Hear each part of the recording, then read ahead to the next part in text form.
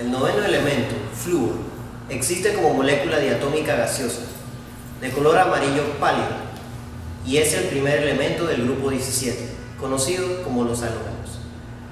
Es el más reactivo de los elementos. Solo los gases nobles helio, neón y argón no reaccionan con él.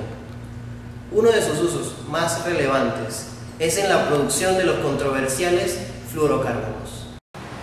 El elemento 17 de la tabla, cloro, es el segundo miembro del grupo de los llamados halógenos. Existe como un gas amarillo verdoso, tóxico, muy reactivo, con excepción de los cuatro primeros gases nobles. Forma cloruro con el resto de los elementos. La clorinación controlada de agua potable a bajas dosis es un método barato para eliminar los microorganismos causantes de enfermedades epidémicas. El elemento 35 es bromo miembro del grupo 17 de la tabla periódica.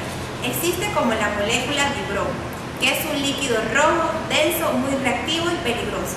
Es soluble en solventes orgánicos y en agua, formando con esta última el agua de bromo, que es un fuerte oxidante y que decolora al reaccionar con moléculas con doble enlaces carbono-carbono. A diferencia del bromo, el bromuro PR negativo es estable y no es peligroso.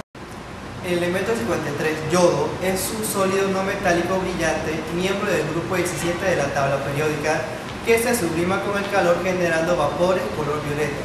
Es soluble en algunos solventes orgánicos. Su solubilidad en agua se aumenta añadiendo yoduro de potasio, con lo que se obtiene el anión triyoduro y 3 negativo. De igual manera que acepta un electrón para generar el yoduro 1 negativo, puede también perder un electrón y dar el catión yodonio 1 positivo.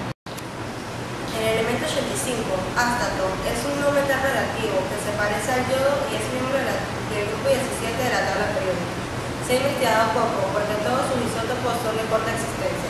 Todo lo que se conoce se ha estimado por su posición debajo del yodo en la tabla y mediante estudios de la química con solución